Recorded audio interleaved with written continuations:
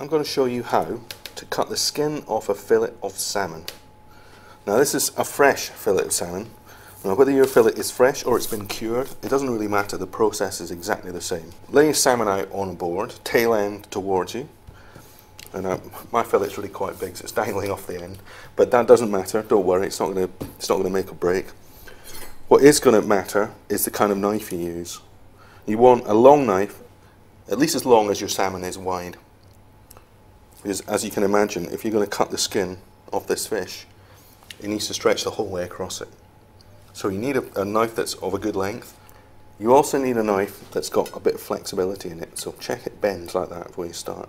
This is just about enough. Any stiffer than that and it's not the right knife for the job. So you start down at the bottom and we want to get a good grip on the very end skin and not on the meat itself just on the skin. Now it's quite slippery to get hold of so what's a good idea sometimes. Is get a piece of paper cloth paper kitchen towel or um, or just a dish towel and hold the end of it. Now what you want to do is make a small cut. And you want to get the knife flat as quickly as you can but slightly slightly angled down. So this, this is flat, that's slightly angled. You see the difference? Slightly angled down, as if you're going to cut through the skin of the fish. If it's too sharp an angle, you will cut through the skin of the fish.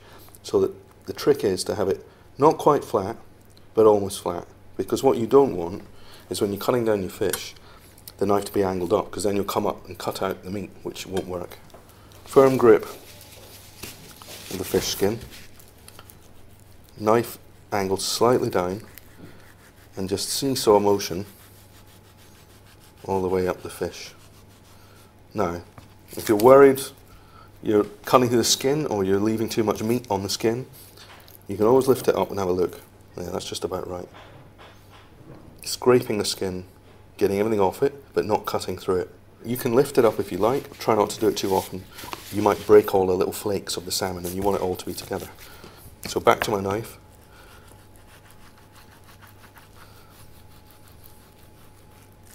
Right, I'll check how I'm going. Oh, came up a bit there, but I'm still okay. It's not too much fish to leave on the skin.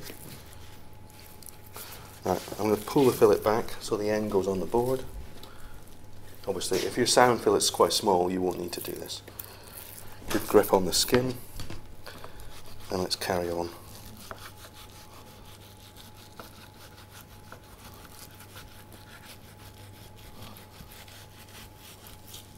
And out the other end. Now, the moment of truth. Oh, left a little bit on the end, but that's not a worry. We can always get rid of that.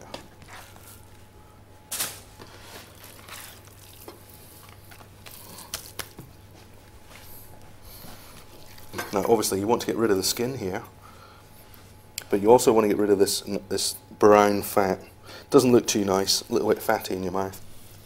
Just going to trim that little bit of skin off the end with a sharp knife. There we go. Right. Now, this brown skin here, you can trim off, same way. Gentle seesaw motions.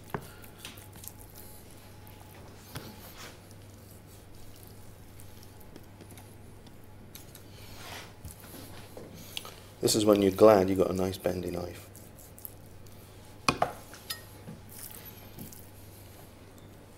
You need to cut down a bit along the, this part here.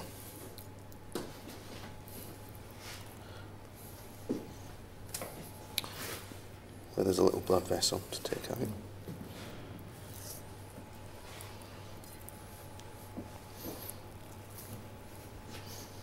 Okay. Right, so there you go. You can spend all day on it if you like, but for me, that's good enough.